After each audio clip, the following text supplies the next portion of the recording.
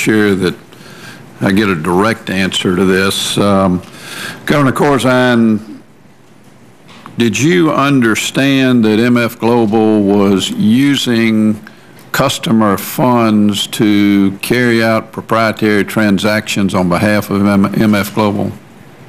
Senator, um, I was not aware of the misuse of customer funds, and I've said that, certainly Yeah, didn't I- authorize it, didn't intend to have it happen, and until that Sunday evening, uh, not aware.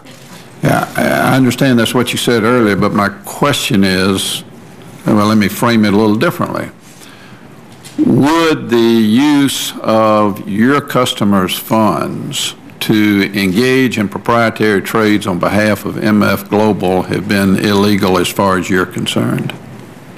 Well, first of all, it is a, it, it is actually more complicated. It gets into this Rule 125 of the Right. um, repurchase agreements between uh, entities.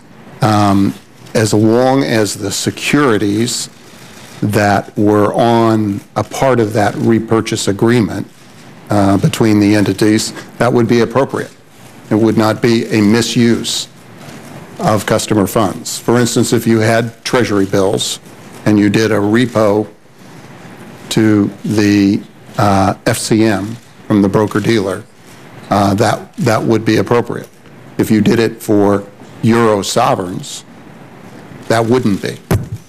Okay, and that's a generally accepted practice in, in the industry, is it not, to, to, The Rule 125, uh, which I think I heard Senator Harkin actually read from, very specific about what can be invested uh, with segregated funds, and any of the repurchase agreements that could occur between um, the entities have to be in 125 eligible securities. They can't be in things that didn't already meet that criteria. okay, but you knew customer funds were being used for that type of activity? For Rule 125 eligible. Right.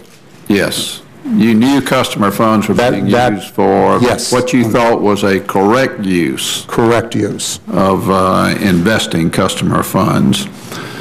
So, uh, were you aware that margin calls were being made on a regular basis uh, just prior to, or towards the middle to the end of October on the sovereign debt investments? The sovereign debt investments are in the broker-dealer and were not a part of the FCM. Um, And the answer to your question is yes. So where did you think the money came from? We run, we run liquidity positions, and as I think I heard Mr. Abelow say, we also had um, access at um, draws against our liquidity lines with the banks. Okay, Mr. Steenkamp, uh, you as the CFO, I assume, review the financial condition of the company on a regular and daily basis? As CFO of the global holding company, um, I would review the, the consolidated financial statements um, and financial condition.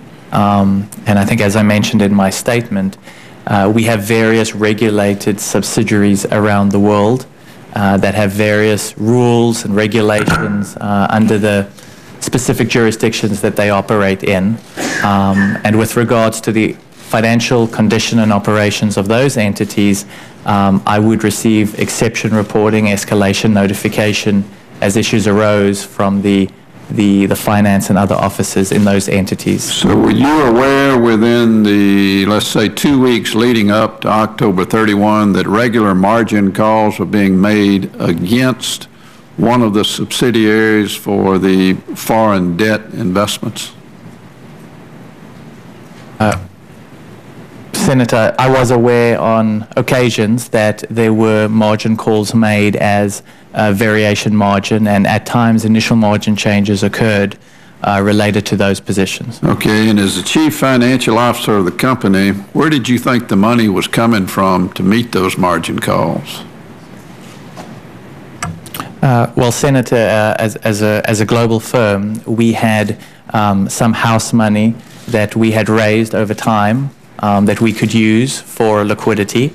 Um, and in addition, we also drew down, uh, as, as uh, Mr. Abelow and Corzine mentioned, on the revolving credit facility, which was a liquidity facility available to us to meet liquidity needs as they arose. And did you not check to see where the significant dollar amount of margin calls was actually coming from?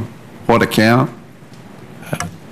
Senator, I would not have checked the exact account that it would be coming from, um, but with regards to uh, client, you know, whether it would be coming from the client side, uh, there were controls, for example, uh, back-end controls being individual segregation calculations that had never indicated any issues, so there was no indication for me that it would be coming from client accounts.